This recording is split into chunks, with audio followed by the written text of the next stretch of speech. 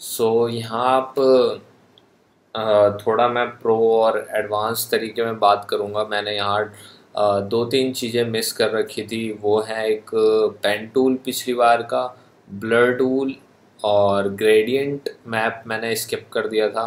तो ग्रेडियंट भी मैं बताऊँगा आपको और थोड़ा लेंदी ट्यूटोरियल है ये। इसमें आप इस देखते रहें। कैसे कैसे रहेगा हर चीज़ और मैचिंग कैसे होती है कि फोरग्राउंड बैकग्राउंड की अच्छे से तो वो सब मैं बताऊँगा टिप्स एंड ट्रिक्स अच्छे से। तो यहाँ अगर आपका फ़ोटोशॉप हैंग होता है, वो स्मार्ट ऑब्जेक्ट की वजह से होता है तो इस पर क्लिक करेंगे ब्रश पे दबा के ब्रश आपने सेलेक्ट करना और जस्ट क्लिक करेंगे तो वो रजिस्ट्राइज को बोलेगा, नहीं तो यहाँ से राइट क्लिक करके आप रजिस्ट्राइज कर सकते हैं ये। ठीक है?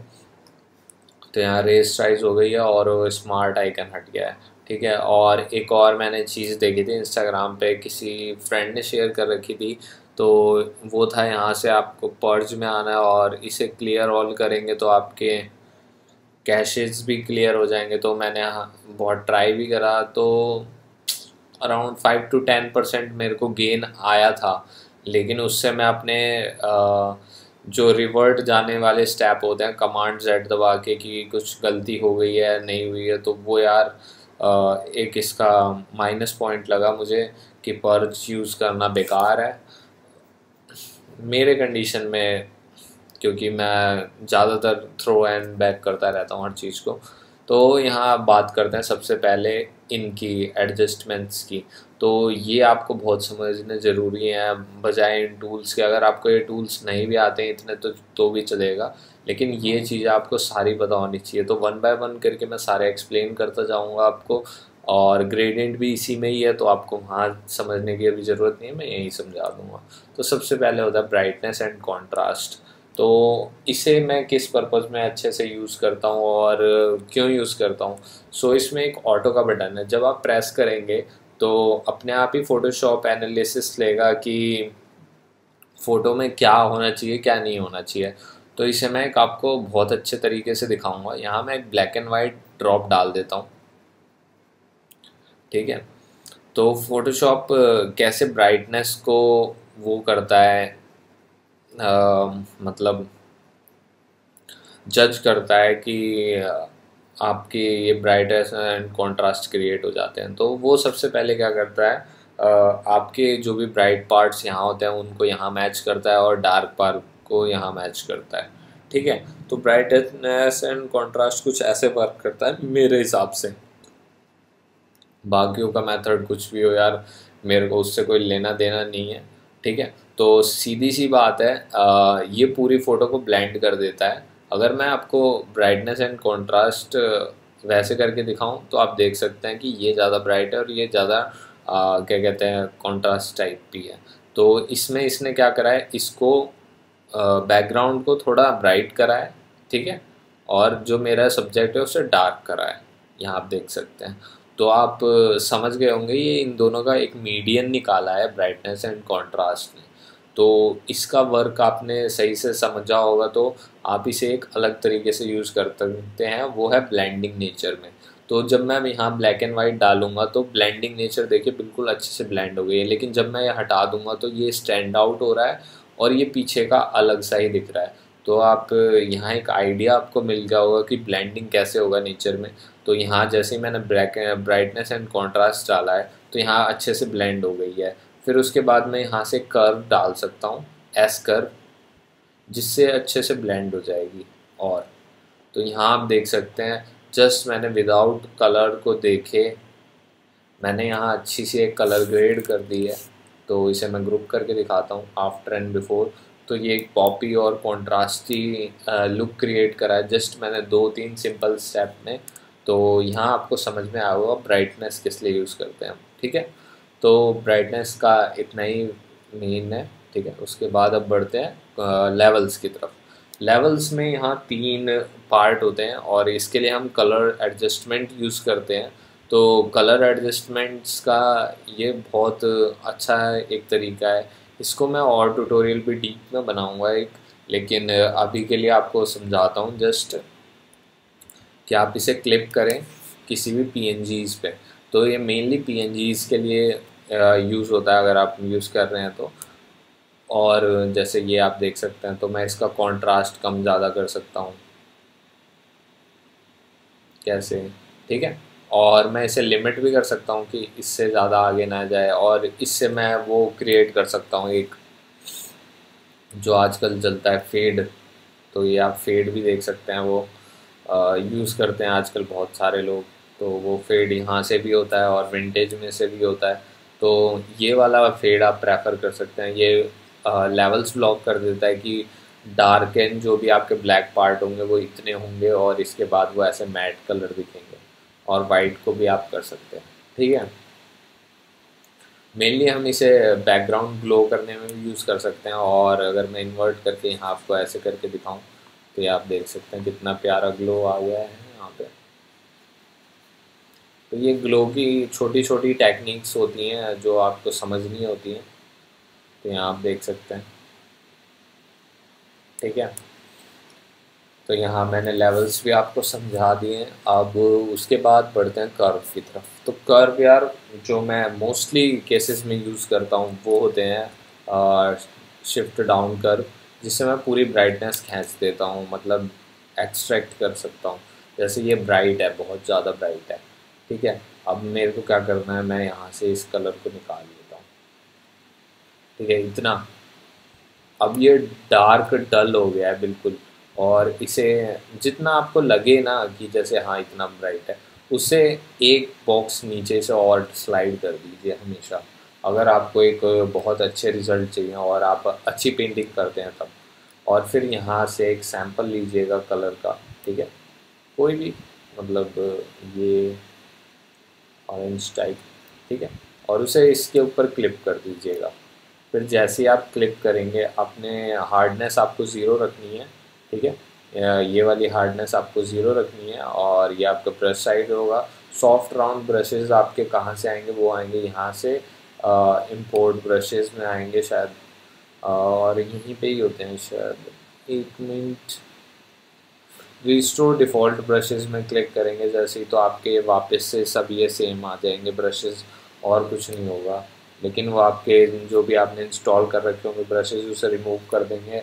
तो आप इसे देख के यूज़ करिए जो भी आपको लगे।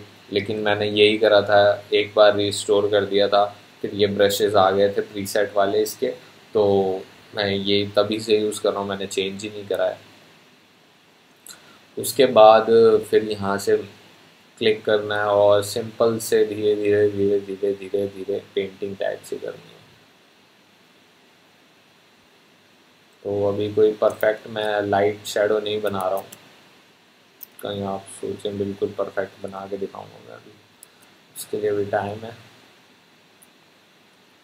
जस्ट एक रफ आइडिया दे रहा हूँ मैं आपको। तो आप देख सकते हैं, यहाँ पे ये लाइट क्रिएट करी है। अब लाइट है अलग कलर की। मैं मानता हूँ यार लाइट अलग कलर की है, लेकिन यहाँ आपको दूसरा एक टूल यूज़ करने में आएगा। वो होता है ह्यू एंड सेचुरेशन ठीक है? तो ह्यू एंड सेचुरेशन मैंने इस पर क्लिप कर दिया है। अब क्या होगा, जैसे ही मैं कुछ भी कलर चेंज करूँगा तो वहाँ एक इफ़ेक्ट चेंज हो जाएगा। तो आप देख सकते हैं वो कैसे कलर अच्छे से चेंज हो रहा है। अब मेरे को यही चीज़ें यूज़ करनी होती हैं, अपने जो भी कॉम्प होता है, मेरे को बनाना होता है तो वो मैं यही यूज़ करता हूँ ज़्यादातर। और फिर यहाँ से देख लेता हूँ जो भी कलर है तो ऑरेंज टाइप ये परफेक्ट लग रहा है मुझे कलर तो ज़्यादा कलर शिफ्ट नहीं है, थोड़ा सा ही कलर शिफ्ट है और आप देख सकते हैं आप कितनी अच्छी ब्लेंड आ गई है वहाँ पे, कि ऐसे लग रहा है वहाँ से ही लाइट आ रही है और फिर यहाँ से थोड़ा थोड़ा इनमें भी पेंट कर देते हैं। तो रिम लाइटनिंग ही ऐसे ही होती है, कोई हाई फाई चीज़ नहीं है, कहीं आप समझें, यार, आप नेक्स्ट लेवल करते हो, आप भी कर सकते हो भाई इजीली और फिर यहाँ से इरेज भी कर सकते हैं आप थोड़ा थोड़ा ज़्यादा ना लगे हर जगह। तो एक अच्छी सी ब्लेंड क्रिएट हो जाती है वहाँ पे। तो अब देखेंगे आप तो वो एक रियलिज़म आ गई है। ठीक है? कर्व का इतना ही यूज़ था यहाँ पे। तो डाउन करके आप कैसे लाइट को अचीव कर सकते हैं। और फिर आता है वाइब्रेंस सेचुरेशन तो यार ये तो आपको सबको पता है। इसमें मुझे समझाना नहीं होता।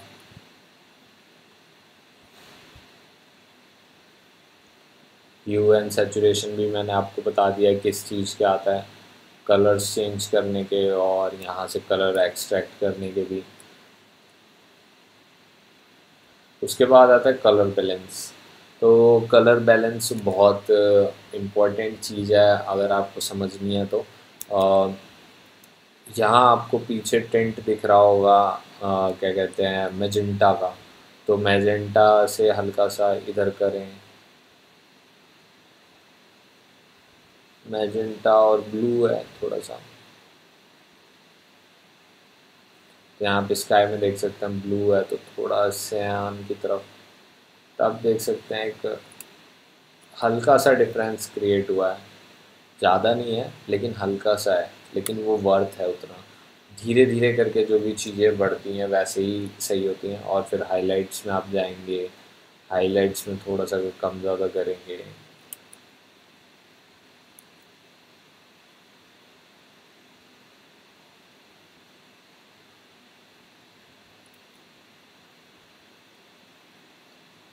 यहाँ आप देख सकते हैं, अब कितना ड्रास्ट चेंज आया और बिल्कुल कलर मैचिंग के हिसाब से तो ये आई लेवल पे आप देख सकते हैं। अगर आपकी स्पॉटिंग अच्छी है तो black and white simple black and white है और कभी कभी कंट्रास्ट क्रिएट करने के काम आ जाता है। ये मेरे तो यहाँ से मैं ब्लैक ऐड कर देता हूँ थोड़ा रेड में और फिर सॉफ्ट लाइट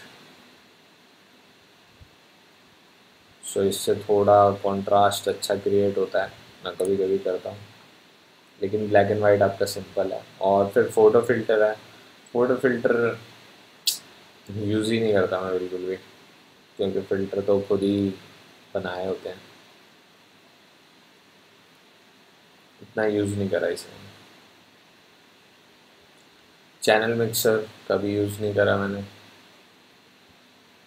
इसे कहते हैं कभी कभी कि इससे अच्छे कलर ग्रेड कर सकते हो आप। लेकिन मुझे लगा नहीं है कभी इतना। हम्म, कुछ हद तक सही है। ड्रामेटिक कलर्स देने के लिए लेकिन इतना भी अच्छा नहीं है। लट्स से आप कर सकते हैं इससे अच्छा। अब आते हैं सीधा लट्स पे। तो यहाँ लट्स आपके प्री सेट होते हैं। ये आपको मिलेंगे ही मिलेंगे। फ्यूजी वाले आपको शायद ना मिले आ, लेकिन इनका कुछ काम धंधा भी नहीं है इतने अच्छे भी नहीं है आप देख सकते हैं। ठीक है? ये मैंने बहुत पहले डाले थे, और कोडैक कोडैक ये सब। मैं इनमें यूज़ करता हूँ नाइट फ्रॉम डे तो नाइट फ्रॉम डे क्या करता है कि जो कि आपका सीन होगा, उसको ट्रांसफॉर्म कर देगा नाइट में, और फिर मैं कर्व्स डालूँगा कर्व से डल कर दूँगा चीज़ को। तो आप देख सकते हैं, अब एक, कितना पॉपी सा वहाँ लुक क्रिएट कर दिया है मैंने। अब मैं ग्लो किसी चीज़ को करूँगा तो वो सौ परसेंट अच्छा इफ़ेक्ट करेगी और बहुत ही ज़्यादा अच्छा इफ़ेक्ट करेगी, कहीं भी हो।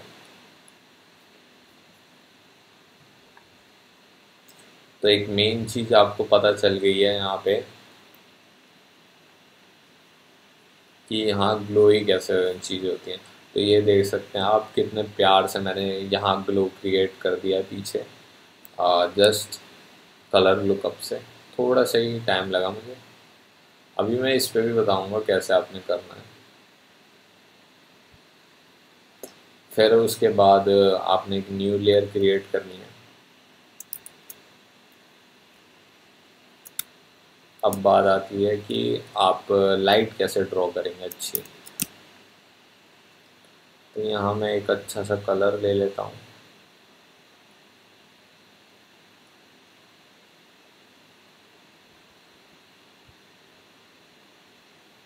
ये कलर सही लग रहा है मुझे। हाँ हाँ इससे अच्छी लाइट्स बन रही है।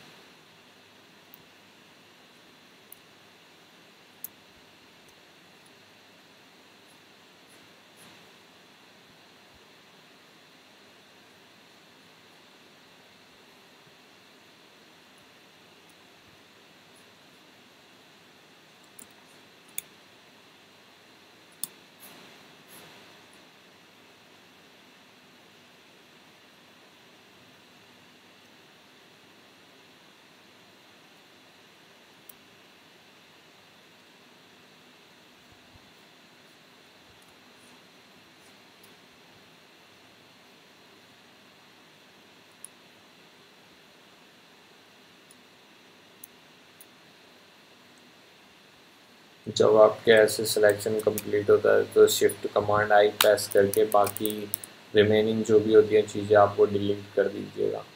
ठीक है?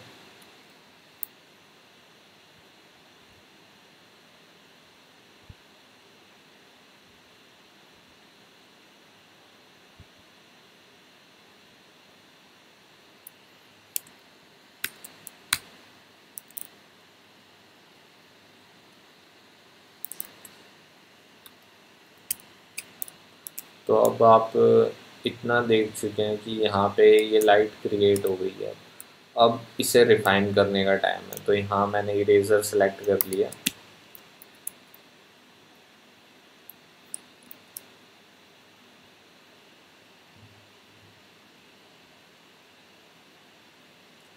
सो so, इरेज़र से अब मुझे क्या करना है? इस चीज़ को इतना अच्छे से इरेज करना है। हार्डनेस नहीं होनी चाहिए आपके इरेज़र की। कि वो एक रिम लाइट की तरह लगे। मैंने पहले तो रिम लाइट रफ क्रिएट कर रखी थी। आप देख रहे होंगे कि जस्ट कोई मतलब ही नहीं है। तो उस टाइप से मैंने रिम लाइट क्रिएट करी थी। लेकिन परफेक्शन थोड़ा टाइम लगता है उस चीज़ को देने में।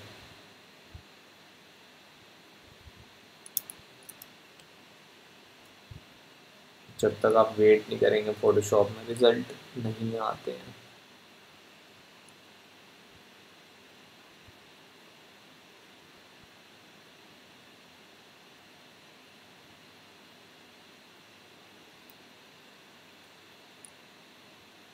तो अब आप देख सकते हैं जहाँ पे कितनी प्यारी रिम लाइट एक ड्रॉ हुई है, उसके रॉड पे से जो आ रही है, ठीक है? तो ऐसे ही रिम लाइट ड्रॉ होती हैं और एक मैंने फुल एक्सप्लेन ट्यूटोरियल भी बनाया है इस पर आप वो भी देख सकते हैं, उसमें थोड़ा मैंने सारी लाइटें क्रिएट कर रखी हैं पहले से। तो वो भी आप देखेंगे तो उसमें सही समझ में आ जाएगा। इसमें भी अच्छे से समझ में आ ही जाएगा। कोई इशू नहीं लग रहा मुझे तो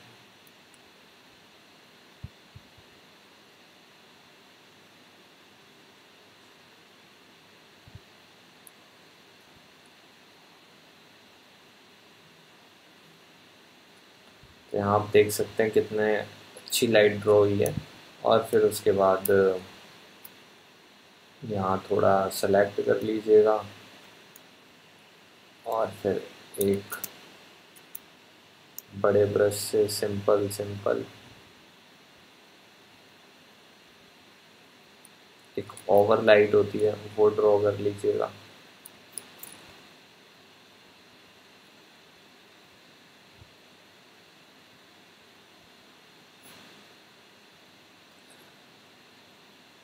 फिर ओवरलाइट ड्रॉ करने के बाद आपको ब्लेंडिंग लेयर में आना है और स्प्लिट कर देना है यहाँ। ठीक है? तो आप अब देख सकते हैं यहाँ पे कितने प्यार से वो ब्लेंड हो गई है लाइट अच्छे से।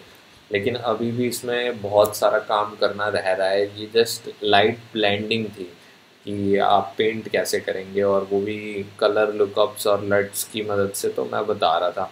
अभी मैं ये दोनों चीज़ें हटा दूँ यहाँ से। कलर लुकअप और कर्व्स तो आप देख सकते हैं, वो लाइट विजिबल ही नहीं होगी आपको। अगर मैं ऐसे भी रिमूव कर देता हूँ तो अब आप देख सकते हैं, वो लाइट का कोई फ़र्क नहीं है इफ़ेक्ट ही नहीं है।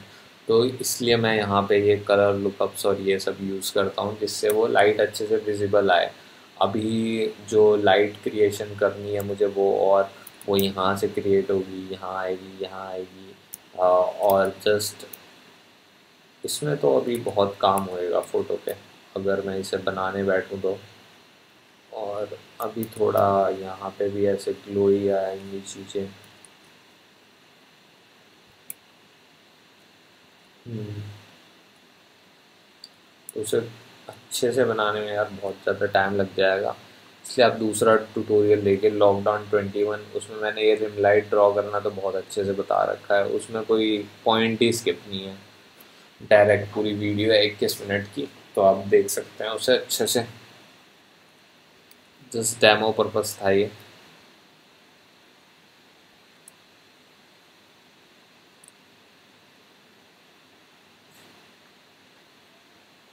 अब उसके बाद बढ़ते हैं। इन्वर्ट कभी यूज़ नहीं करा पोस्टराइज मतलब ही नहीं है थ्रेश भी नहीं। सेलेक्टिव कलर बहुत ज़्यादा इम्पोर्टेंट यहाँ से आप ब्लैक्स को बहुत अच्छा इम्प्रूव कर सकते हैं। गुड पॉइंट है कि इस चीज़ का।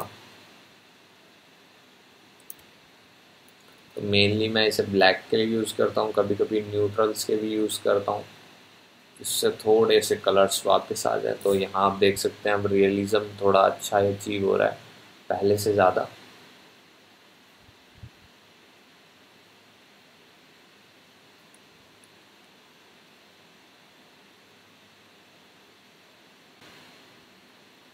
सो so, अब ग्रेडियंट की तरफ़ बढ़ते हैं। सो so, ग्रेडियंट एक बहुत ही अच्छा टूल है और इससे हम लाइक like, ये बिल्कुल फास्ट ब्लैक कलर बना सकते हैं। इसे शायद हाई हाई की कॉन्ट्रास्ट बोलते हैं। तो इससे बहुत अच्छा कॉन्ट्रास्ट मिलता है हमें। अगर सॉफ्ट लाइट में करें और फिर जस्ट ओपेसिटी रिडीम करें इसकी। तो आप देख सकते हैं कितना अच्छा यहाँ पे भी हमें व्यू मिल रहा है। और यहाँ सिलेक्टिव कलर को थोड़ा अच्छे से यूज़ करके।